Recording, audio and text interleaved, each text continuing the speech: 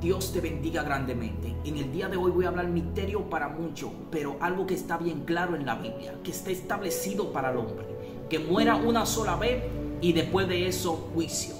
Hay dos formas de que una persona puede ser libre de un espíritu inmundo. Y es si acepta a Cristo como Señor y Salvador.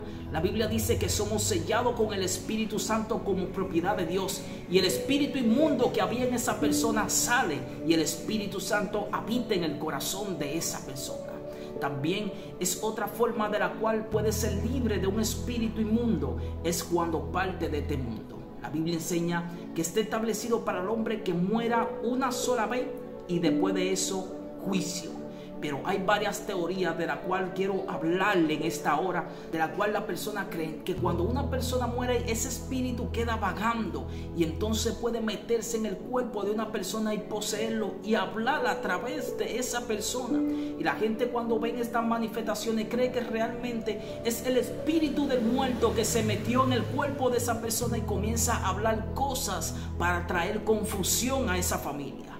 Y cuando se manifiesta ese demonio que no es el espíritu de esa persona, pues la Biblia dice que cuando el hombre muere va al polvo el cuerpo, el espíritu va a Dios quien fue que lo dio y el alma irá al cielo o al infierno. Ahora bien, cuando ese espíritu se manifiesta sobre esa persona y comienza a traer confusión, ¿por qué? Porque el espíritu que estaba en esa persona que partió de este mundo conoce cómo se movía esa persona. Y enseña que cuando un espíritu inmundo sale de un cuerpo, anda por lugares desiertos esperando el momento para volver a entrar a casa de donde salió encontrar que el Espíritu Santo no habita en esa persona, entonces esos espíritus inmundos vuelven al cuerpo de esa misma persona. Pero si esa persona muere y parte de este mundo, los espíritus inmundos salen del cuerpo y andan buscando la oportunidad para meterse en otro cuerpo. ¿Por qué vemos la manifestación de muchos espíritus inmundos que se manifiestan cuando una persona parte de este mundo? Y mucha gente le dice, ese espíritu se montó en esa persona y lo llaman por su nombre por el nombre de esa persona que murió, porque ese espíritu que se está manifestando en ese lugar está haciendo la misma imitaciones que hacía esa persona que murió. Esa persona donde ese espíritu se metió comienza a hablar misterio, comienza a decir cosas que solamente las sabía esa persona. Y es solo porque ese espíritu inmundo conocía perfectamente esa persona, pues ahí vivía y ese espíritu inmundo guiaba a esa persona a hacer cosas malas. Por eso comienza ese espíritu a manifestarse con acciones que hacía esa persona y la gente cree a ese espíritu las confusiones que habla por su boca. Y la Biblia le llama a eso espíritu de demonios, espíritus inmundos que vienen a traer confusión a una familia. Recuerdo de una persona que partió de este mundo y su hermano mientras lloraba aquella persona que partió incluso ya estaba enterrada. Comenzó ese espíritu inmundo a manifestarse en el hermano de aquella persona que partió de este mundo. Entonces ese espíritu inmundo que se manifestó a través del hermano de esa persona que partió comenzó a decir a los hijos lo mal que ellos se habían comportado con esa persona que partió. Ese espíritu lo que estaba trayendo tristeza, confusión, depresión en esa familia. mi pregunta es, ¿en qué edifica lo que está diciendo esa persona o ese espíritu inmundo a través de esa persona? Eso es lo que viene a traer esos espíritus inmundos. Vienen a traer confusión a la familia, pero el espíritu que salió del cuerpo de esa persona que murió va a Dios quien fue que lo dio. El cuerpo va al polvo porque polvo es y al polvo volverá. Y dice la palabra de Dios que el alma irá al paraíso o irá a aquel lugar de tormento si no aceptó a Cristo como Señor y Salvador. Y está establecido, dice la Biblia, que el hombre muera una sola vez y después de eso juicio. La Biblia habla de un hombre rico que tenía muchos bienes y cuando preparó todo su bienes le dijo a su alma, alma mía, gózate porque mucho bienes tiene preparado para muchos años. Pero vino una voz del cielo que le dijo, Necio, esta misma noche vienen a pedir tu alma y todo lo que tú almacenado de quién será. Bien vemos la historia del rico y Lázaro. Dice que el rico despertando y abriendo sus ojos estaba siendo atormentado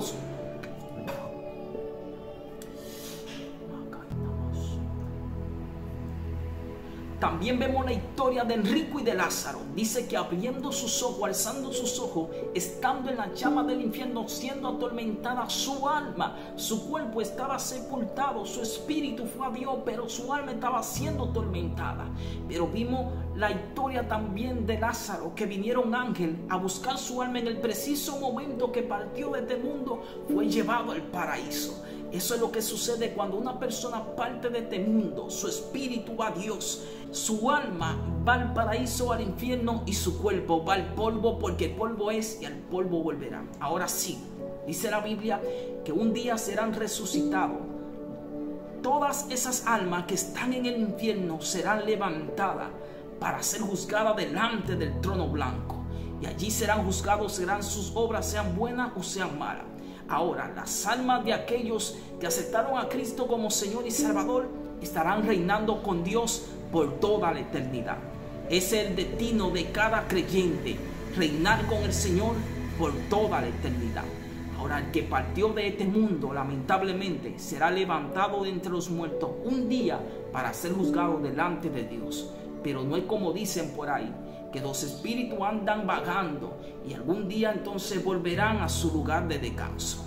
Lamentablemente, si usted partió sin Cristo, será el lloro y el grujir de dientes. Pero si partiste con el Señor, estará con Él reinando por toda la eternidad.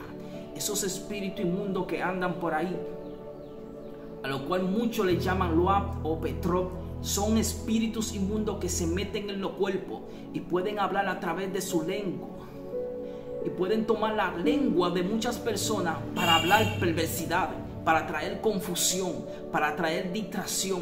Y eso es lo que hace la manifestación de esos espíritus inmundos que conocen al viejo hombre de donde vivieron y de donde salieron y pueden manifestarse con acciones tomando el cuerpo de otra persona porque tienen el conocimiento de cómo actuó, de cómo se movió esa persona y pueden tomar su lengua para hablar cosas blasfemias, cosas que van a traer destrucción en una familia, confusión y depresión en una familia.